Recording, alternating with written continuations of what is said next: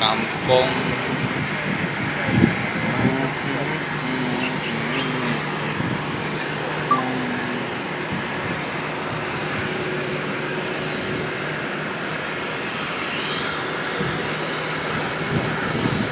jenenge KL iki lho dibakno.